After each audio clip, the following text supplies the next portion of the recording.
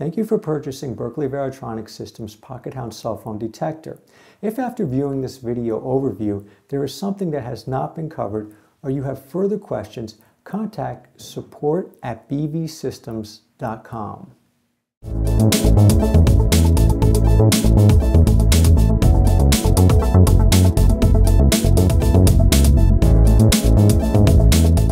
When you first receive your Pocket Hound cell phone detector, you will see the following included items. The Pocket Hound receiver, retractable USB charging cable, along with the USB charger, printed quick start guide, and the USB flash drive. The flash drive contains the PC software and digital versions of the quick start guide, video demos, and tutorial videos such as this one. To turn on your Pocket Hound, simply press in the black slider button on the side. You will see the green LED indicating the power is on. The Pocket Hound will begin immediately detecting nearby cell phone activity. For optimal performance of the Pocket Hound, make sure the Pocket Hound label is facing out towards the area of interest.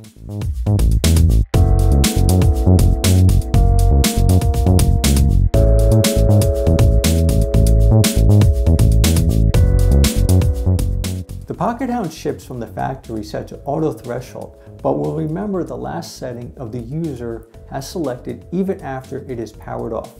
Push the button to show the threshold setting. The blue LED on the far left indicates auto threshold is currently active. Auto threshold is a setting you will probably use the most. In this setting, the Pocket Hound will measure the RF noise floor of the area and apply its own smart filtering so that cellular phones will only trigger the device and not other sources of RF energy and interference. Sometimes areas with a high concentration of metal or glass may introduce too much interference or shield cellular activity from the Pocket Hound receiver, so it might be necessary to switch to manual threshold in these cases. Push in the button to check the threshold mode. If the blue LED to the far left is lit, you need to scroll down to select Manual Threshold. The second blue LED from the left will light up. Push the button to select Manual Threshold mode. Now if there is no nearby cellular activity, you will see no LEDs lit. To begin detecting cellular activity in this mode, press the thumb wheel so the blue LEDs turn off. The Pocket Hound is now ready for detecting cellular activity. Remember, the Pocket Hound will not detect any cellular activity until after you press the thumb wheel and exit this mode. There are 10 manual threshold levels. To be sure you know what levels you are at, you need to zero the unit by toggling the wheel down 10 times. Then you can proceed to set the level from 1 to 10 by toggling the wheel up one increment at a time. Keep in mind that the unit will still detect RF as you are setting the threshold, so it may vibrate. The ideal setting will be slightly higher than the background RF level or noise floor. Remember, the higher level you toggle up, the higher you are raising the threshold. Raising the threshold scans for stronger signals, while lowering the threshold scans for weaker or more distant signals. So if your Pocket Hound is constantly triggering, you should raise the threshold to ignore most of that RF noise and concentrate on the stronger cellular signals. And if your Pocket Hound is not alerting you when you are sure there is nearby activities, you should lower that threshold down to look for weaker signals. If you plan to walk around with Pocket Hound in your hand or pocket, change back to auto threshold so you will not have to manually change the threshold every time you enter a new environment. To do this, push in on the toggle wheel to see the threshold mode.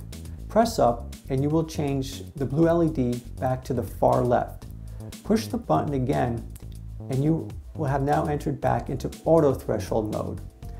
Auto threshold level only adjusts after a new level is detected for at least 20 seconds. So if you're moving too fast from one area to another, your Pocket Hound Auto Threshold will not be able to adjust too quickly to changing environments. Allow at least 20 seconds in each new area. The Pocket Hound will vibrate and the lights will light up, alerting you to nearby activities. The blue LEDs vary according to signal strength from left to right. One LED indicates a low signal level, while four indicates a higher signal level. There is not a direct indication of distance from the cellular activity. There are too many variables in RF detection to accurately relate to distance, so you should only use these indications as a rough guide. As you get closer to an active cell phone, you can expect to see the signal strength rise. When you are finished with the Pocket Hound, turn it off by holding in the power button for 3 seconds. The green LED will turn off so your Pocket Hound is now off.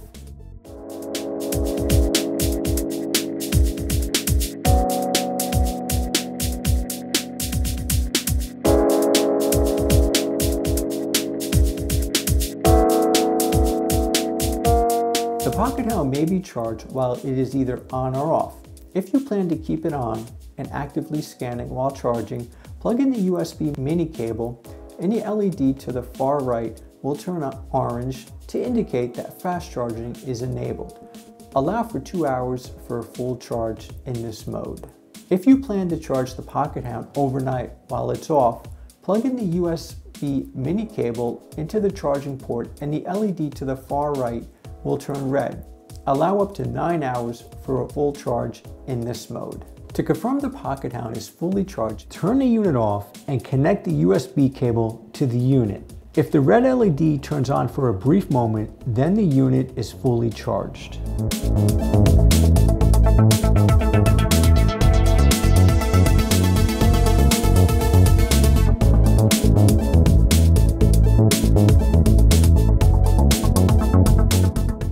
Before you can do anything with the Pocket Hound software, you must transfer the contents of the USB stick onto your desktop. To do this, uh, highlight all of the items within the folder of the USB stick, copy, and then paste them to your destination folder. In order to use the Pocket Hound software, you must install the USB driver of the unit first. Plug in the Pocket Hound to your computer via the USB cable. Then turn the Pocket Hound on. You must then navigate to your device manager.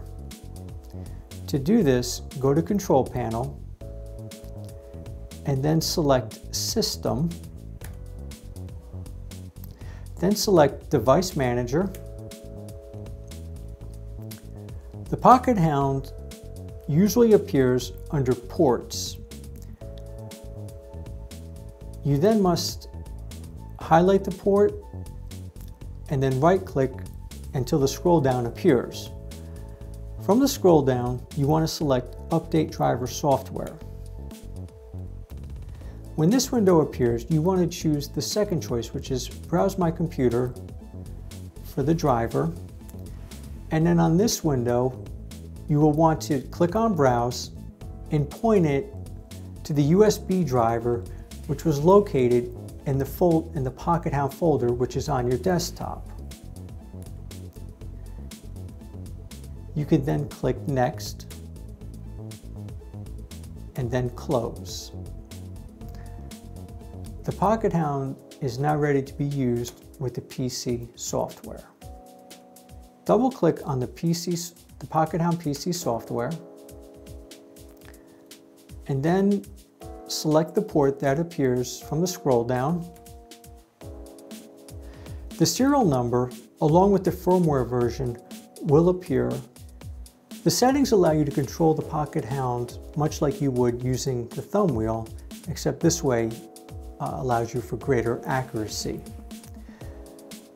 The trigger level setting is either set for automatic or manual depending on the last setting that was used in the Pocket Hound.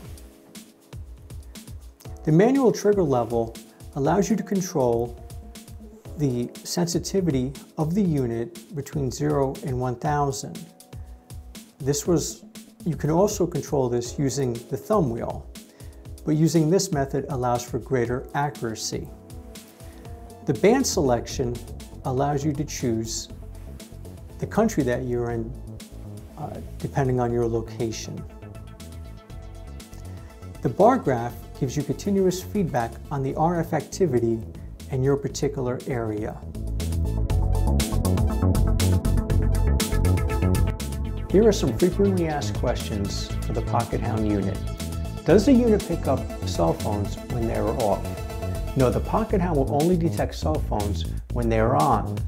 Keep in mind, however, the cell phone must be either making a phone call, sending a text message, or transmitting a beacon in order for the Pocket Hound to detect it.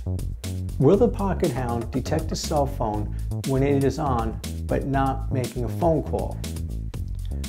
Yes, since all cell phones send out beacons to remain in communication with their carrier, the Pocket Hound will detect these beacons. The time between these beacons can be anywhere from once every 30 seconds to once every 30 minutes. How long does it work on batteries? For the standard Pocket Hound, the user can, can expect to use the unit between an hour and a half to two hours on a fully charged battery. For the Pocket Hound Plus, the user can expect to use the unit for up to four hours. Does the intensity of the vibration of the unit correspond with signal strength? No, the vibration of the Pocket Hound remains constant regardless of the signal strength. How can I use the Pocket Hound to determine the direction of a cell phone signal? The unit does have an antenna located underneath the Pocket Hound label the Pocket Hound unit, however, is more of a tool to alert you of cell phone activity within a certain area. Berkeley Varitronics does offer cell phone detector tools with direction finding capabilities. If you are interested, please contact our sales team.